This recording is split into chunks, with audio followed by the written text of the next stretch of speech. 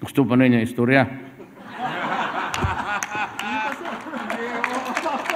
ano, ano oras na? Ah, ito, 8.38. 8.38. Okay. Pwede pa ho. Ako talaga, ay, may, matindi talaga ako. Yung matindi ako pag, lalo na yung mga kriminal.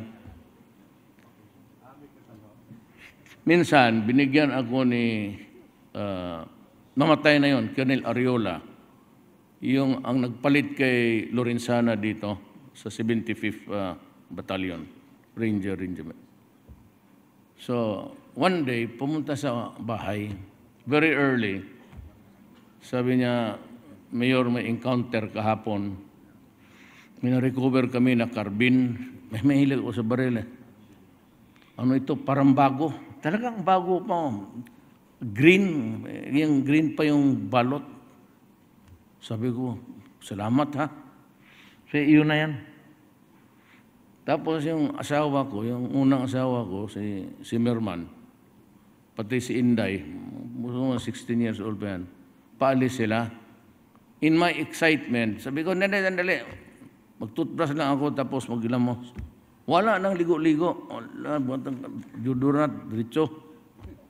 Sabi ko, hatod, hat, hat, hatod, eh, hatod, hatid ninyo ako sa barracks. Barracks ang tawag namin yung, uh, kasi ba, sundalo yan noon eh.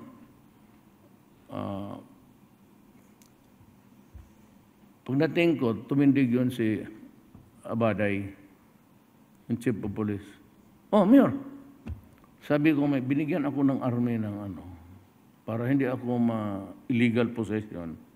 Isyuhan mo ako ng galing sa opisina ninyo sa property na inyo to, tapos ano, mission, memorandum receipt and mission order para madala ko sa labas. Ano, puno ako doon. Dumating itong mga pulis na buang kasi sabi ko, may tao noon na yung over-over. No, yung, yung ano pa, ang mga babae niyan, it was fashion na, it was devo at that time na mayroon kang ganon. Fad yun eh. Pero may isang mga, mga gago dito, lapitan yung babae tapos sabihin, pwede, pwede mahiram sandali kasi may hood up dyan. Tawagan lang namin si Mayor. Gamitin nila yung pangalan ko. So, ang, ang tao, ma, ano ka agad? Ah, si Mayor. Di ibigay, itakbo na. Tatlong beses na. Di sinabihan ko yung pulis dyan, sabi, tang ina sabi ko, pag hindi niya nahuli, bantay kayo sa akin. I'll give you 24 hours. So, gano'n ang ah, takbo ng events. So, maya, yung pulis na kahuli, dumating. Sabi niya, Mayor, nahuli na namin yung magnanakaw ng radyo. Gusto mo dalhin namin dito? Wala. Bugin ko yung putang inang yan. Sabi ko, maraming media dito magdatingan. Ko, doon lang sa 41st, 41st building, ito yung sa Army noon, PC. Pulis na ngayon yan, quarter. Wala, puntahan ko lang. So, eh, di ba, basket yan sa likod mo yun. Sabi ko, hindi. Umaya, yun ang usapan.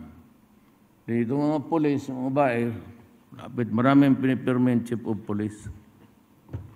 Maya, bigla lang nung, may, dito sa, nakaupo ako dito, nakatalikod. Sabi niya ba, ni Abaday, sa tangin ng Abaday, na ano, sarap patayin, patay na eh. Sabi, oh yan o, ano, yan, yan. Yun lang sinabi niya, oo, oh, yan. Nakita ko butas yung t-shirt, nakachinelas, ang kuko, dumi pa ng yawa, tumindig ako. Tingnan, sa, ano, tumindig ako. Nag-iba na ang mukha ko. Sabi ko, putang ina ka. Ibisi siya doon sa mga dalawang policewoman. Hindi nila napansin yung drama, evolving na drama. Putang ina ka. Bas. Paglabas, di ba parang concert doon na harap ng, yun ang standby ng polis, parang nipahat. May bambo. Para lang, parang waiting room doon, mga polis. Paglabas, sabi ko, lika. putang ina ka. Ilan ang radyo na nakaw mo? Sabi mo sa ito, barilin kita dito. Ang sagot niya, Mayor, tatlo mo lang yung hindi ma-account. Ako na? Account, account ka pa yung putang ina ka. Kakawat na, bi batuta. Sabi ng pulis, Sir, bawal ng batuta ngayon. Putang ina. Tingnan, yung mga pulis may kawa. Siyempre, kawa ng mga, nag, nagti-chip in yan sila ng ulam, gulay, gano'n, may perasong karne. Kawa naman talaga ako sa kanila. Sabi ko, pumunta ako doon sa kanya. Eh, may bambo na kaganon. Kinuha ko yung plywood na hindi, hindi pa na sunog lahat. Pero may pulis dyan, apat ha. Pati yung pulis ko na driver si Sunny. Bigla kayo ang kamay mo dyan. Wala pa rin nagsabi na, Mayor, ano ang gawin mo? Paglaban ng, lagay ng kamay, potang ina, pa, yung tatlong kuko, umalo siya. Tapos nagtindigan ng mga pulis, sir, bakit sir? Yung driver ko, ginanon ako. Sir, gano'n mo, sir, saan na, sir? Sabi ko, hindi ba ito yung magdanako ng radyo? Siya, hindi, sir, yung property officer namin.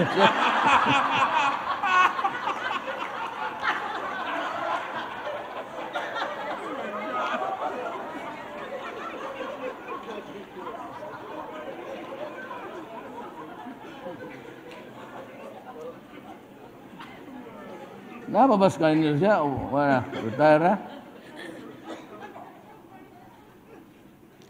Putang ina ka. Di account, account ka pa, hindi mo account. Say ka, kawat na. Dami ang kamay mo dyan. Eh, talagang todo na. Oh, nakita ko talaga yung kuko na tumindig. Sabi niya, Sir, oh, si Kanyos, yan ang property officer namin. Putang ina ka. Say ka di, umalis ko, sabi ko yung papel, yung serial number number, iniwan ko sa babae. Halika na ka. Oh. Gawaan mo ako niya. Kunin ko ngayong hapon. Sabi mga police, sir, ito si ka, ano to si kanyo, sir? Ganun na yan. Ah, gago yan. Hindi na nagsabi, sir, bakit mo ako? Sabi ko, ikaw kayong mga polis, uturuin kayo. Ba't hindi niya ako binigil? Sabi niya, sir, masama na kasi ang mukha mo eh. Ala, akala namin may kasalanan din talaga si Kanyos. Mas bagay, sabi niya hindi niya ma-account tatlong radyo. Ayun, ayun.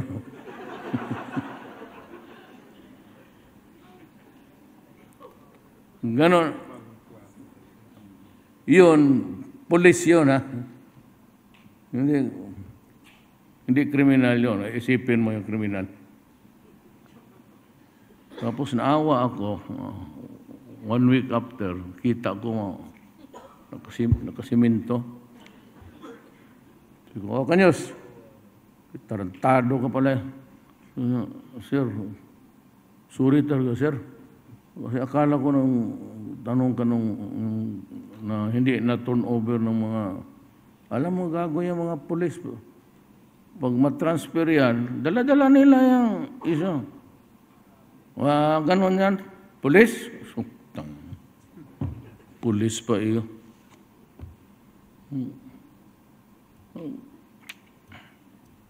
Kaya nakita ko, sabi ko sa driver ko, siya may itong gago ba ito nakatira? Sa malayo yan sir, sa boundary ng Davao City pa, uh, Panabo. Binilihan ko na lang ako, bilihan mo na ng motor para pambawi. Wala, ang kamay, nagagano na. Ang gago namang kanyos, siyempre napahiya siya na uh, budyakan siya. Ikot-ikot siya doon sa barracks. Oh, ay, oh, napalo nga, pero tingnan mo, tingnan mo naman. ah. Pu- ang pulis, put, ang, ang love-hate kami ng pulis eh. Pagdat, paglabas ko sa barracks, may apat na mga, gago talaga yung mga pulis. Nakaganon. Sir, hampasin mo ang kamay namin, sir.